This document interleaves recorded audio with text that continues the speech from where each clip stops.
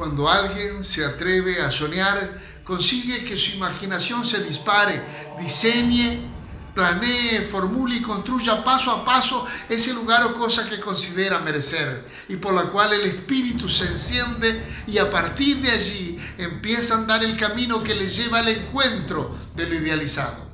Ese donde la realidad soñada se halla frente a frente con la realidad concreta y se formaliza el resultado evidente que se pretende. Por supuesto, que entre la imaginación y lo pretendido hay siempre un trecho que recorrer, fuerzas que desgastar, intelecto que derrochar y paciencia y tesón por consumir, ya que sin ello nada se consigue en esta vida pero el solo hecho de soñar y perseguir un sueño, una meta, un ideal, la pasión interna de estar en el camino hace que todo nuestro ser se encienda y la vivacidad se manifieste hasta en el fulgor y brillo de nuestros ojos.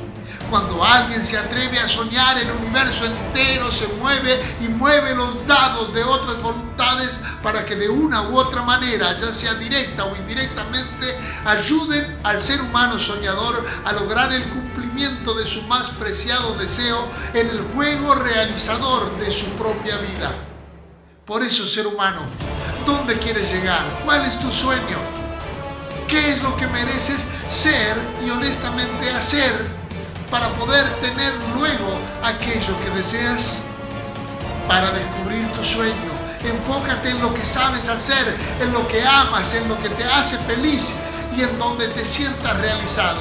Pero debes empezar por el principio, empezar por valorar lo que tienes, lo que la vida te ha obsequiado, tu propio ser, tu familia, tu hogar, tus amistades, tus compañeros de estudio, cada cosa a tu alrededor, todo lo que aprecias, todo lo que posees. Solo cuando el ser humano comienza a estimar hasta sus pequeñeces, puede luego apreciar en gran manera lo que su esfuerzo debe otorgarle a través del tiempo. Solo lo que cuesta sudor tiene valor en lágrimas de felicidad.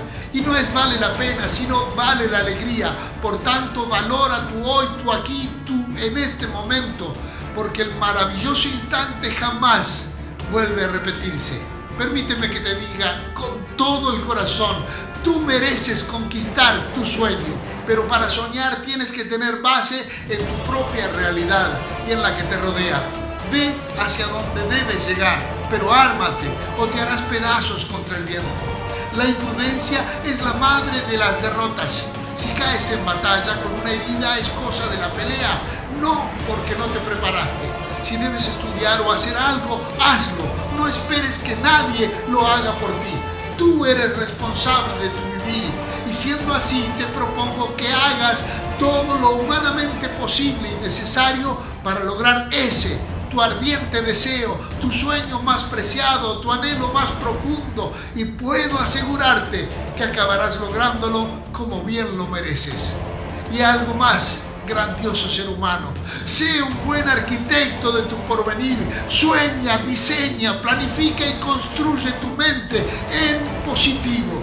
Desde los cimientos más sólidos de tus días, sosteniendo la obra maestra de tu propia vida, Tú mereces edificarte como la más preciada y admirable joya arquitectónica del universo.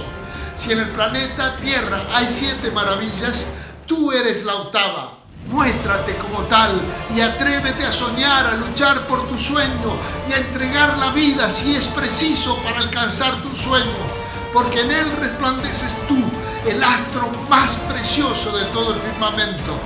Tú eres esa estrella. Atrévete a deslumbrar al mundo. Atrévete a brillar. Atrévete a soñar y a conquistar tu sueño. Soy tu servidor, el escritor y conferenciante uruguayo Sergio Arias Moreira. Y ha sido un honor estar contigo. Hasta la próxima.